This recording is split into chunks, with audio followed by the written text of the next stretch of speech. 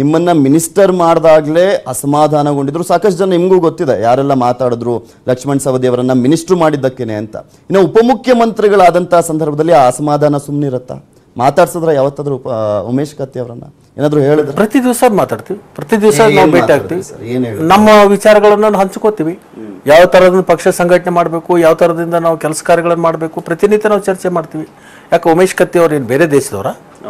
ನಮ್ಮ ಜಿಲ್ಲೆಯವರು ನಾವು ಯಾವುದೇ ಯಾವುದೇ ರೀತಿಯಿಂದ ಅಸಮಾಧಾನ ಇಲ್ಲ. ಉಮೇಶ್ ಕತ್ತಿ ಅವರು ನಾವು ಸುಮಾರು ಇಪ್ಪತ್ತೈದು ವರ್ಷದಿಂದನೂ ಕೂಡ ಕೂಡಿ ರಾಜಕಾರಣ ಮಾಡಿರ್ತಕ್ಕಂಥವ್ರು.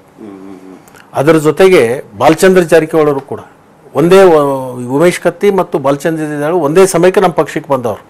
ಅವರು ಉಪಚುನಾವಣೆಗಳನ್ನು ಹೋಗಿ ನಾವು ಮಾಡಿದ್ದೀವಿ. ಏನು ಅನರ್ಹತೆಗೊಂಡ್ರು ಈ ಹದಿನೇಳು ಜನ. ಇಲ್ಲಿ ಮೇನ್ಲಿ ಮಹಾರಾಷ್ಟ್ರ ನಾಯಕರ ಜೊತೆ ಬಿಜೆಪಿ ನಾಯಕರ ಜೊತೆ ಅತ್ಯುತ್ತಮವಾದಂಥ ಲಿಂಕ್ ಇದೆ ಲಕ್ಷ್ಮಣ್ ಸವದಿ ಅವರಿಗೆ. ಇಲ್ಲಿ ಮೇನ್ಲಿ ನಾಲ್ಕು ಜನರನ್ನ ಸೆಳೆಯುವಂಥ ನಿಟ್ಟಿನಲ್ಲಿ ಲಕ್ಷ್ಮಣ್ ಸವದಿ ಅವರು ಸಕ್ಸಸ್ ಆದ್ರು. ಆ ಒಂದು ಕಾರಣನೂ ಕೂಡ ಮೇನ್ ರೀಸನ್ನು ಲಕ್ಷ್ಮಣ್ ಸವದಿ ಅವರಿಗೆ ಉಪಮುಖ್ಯಮಂತ್ರಿ ಸ್ಥಾನವನ್ನ ಕೊಡೋದಕ್ಕೆ ಅಂತ. ನಮ್ಮ ವರಿಷ್ಠರಲ್ಲಿ ಅನೇಕ ಆಲೋಚನೆಗಳು ಇರ್ಬೋದು. ಅದು ಮಹಾರಾಷ್ಟ್ರದ ಮೇಲೆ ಅದರ ಅನರ್ಹ ಶಾಸಕರ ಸೆಳೆತದ ಬಗ್ಗೆ ಏನು ಹೇಳ್ತಾರೆ ಸರ್? ಅನರ್ಹ ಶಾಸಕರ ಬಗ್ಗೆ ನಾನು ಇವತ್ತು ಟಚ್ ಮಾಡಿಲ್ಲ. ನಾನು ಯಾರಿಗೂ ಕೂಡ ಟಚ್ ಮಾಡ್ಲಿಕ್ಕೆ ಹೋಗಿಲ್ಲ. ಯಾರನ್ನು ಕರೀಲಿಲ್ಲ.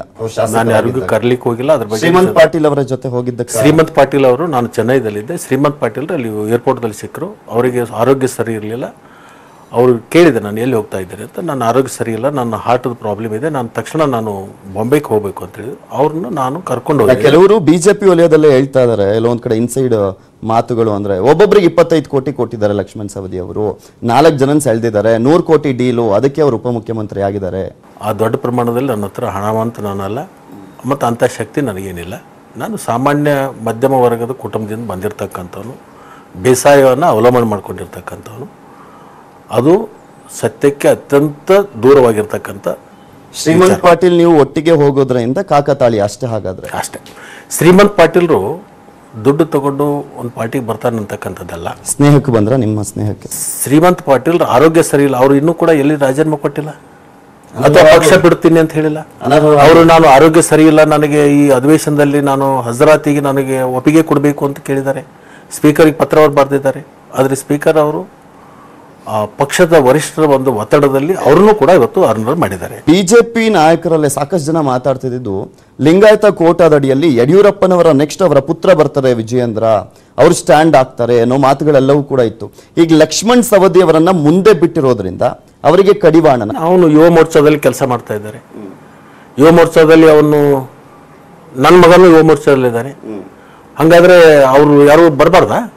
ಪಕ್ಷ ಸಂಘಟನೆ ಮಾಡಲಿಕ್ಕೆ, ಪಕ್ಷದ ವಿಚಾರಧಾರೆಗಳನ್ನು ಜನರಿಗೆ ಮುಟ್ಟಿಸುವಲ್ಲಿ ಯುವ ಮೋರ್ಚಾ ಕೆಲಸ ಮಾಡ್ತಿದ್ದೆ ಅವ್ರು ಕೆಲಸ ಮಾಡ್ಕೊತ ಹೊರಟಿದ್ದಾರೆ. ಅವರ ರಾಜಕಾರಣಕ್ಕೂ ನನ್ನ ರಾಜಕಾರಣಕ್ಕೂ ಯಾವುದೇ ಸಂಬಂಧ ಇಲ್ಲ. ಆಗೋದೂ ಇಲ್ಲ. ಯಡಿಯೂರಪ್ಪನವರು ಈ ರಾಜ್ಯದ ಆರು ಕೋಟಿ ಜನರ ಒಬ್ಬ ನಾಯಕರು. ಒಂದೇ ಸಮಾಜಕ್ಕೆ ಸೀಮಿತ ಅಲ್ಲ ಅವರು. ಅವರು ಕೇವಲ ಲಿಂಗಾಯತರ ನಾಯಕರು ಅಂತೂ ಅಲ್ಲ. ಎಸ್ ಈಗ ಲಕ್ಷ್ಮಣ್ ಸವದಿ ಅವರು ಉಪಮುಖ್ಯ